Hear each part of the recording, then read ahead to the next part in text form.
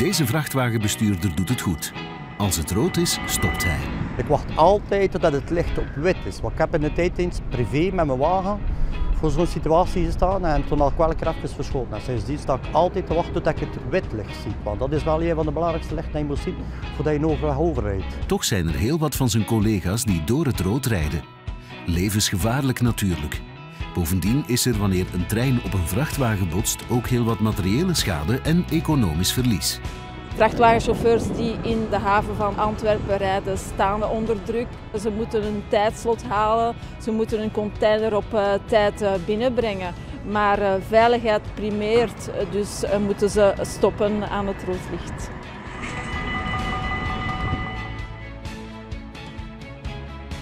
We doen hier vandaag een sensibiliseringsactie, eigenlijk een symbolische actie. We vragen aan vrachtwagenbestuurders hier in de haven van Antwerpen om altijd de verkeersregels te respecteren. Als het rood is aan een overweg moet je uiteraard stoppen en ook aandachtig te zijn. Uit cijfers van de voorbije jaren blijkt dat de meeste ongevallen aan overwegen gebeuren door het negeren van de verkeersregels. Maar ook slechte zichtbaarheid speelt een rol in 11% van de gevallen. En tenslotte is 2% van de ongelukken te wijten aan onvoorzichtig rijgedrag.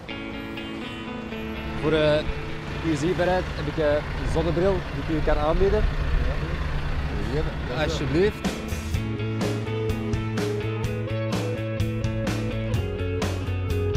Maar de chauffeurs kregen niet alleen een speciale zonnebril, ook hun voorruiten werden gepoetst. Een goede zichtbaarheid, daarvan vinden wij dat die toch al begint bij een propere voorruit van de vrachtwagen. En daarom poetsen we ook de voorruiten gratis hier. Voor de chauffeurs wel heel goed wil zeggen beter zicht. Met de laag hier op de zon, ja, nu erachter ziet, moeten er toch wel minder accidenten mee gebeuren door deze. Ja, dat zijn we dus aan het doen. Proberen de accidenten te verhelpen door proper ramen, ik zou het zo zeggen. Maar sensibiliseren alleen is niet voldoende. We doen ook maatregelen op het terrein om de zichtbaarheid van de overwegen te vergroten. Bijvoorbeeld extra lampen plaatsen, ook extra bellen. Dus alles om de overweg beter te doen laten opvallen. Infrabel zit in een werkgroep waar nog meer veiligheidsmaatregelen worden besproken. De vrachtwagenbestuurders blijven oproepen om de verkeersregels te respecteren, moet samen met alle extra maatregelen op termijn het aantal incidenten aan overwegen doen dalen. Want elk ongeval is er uiteraard één te veel.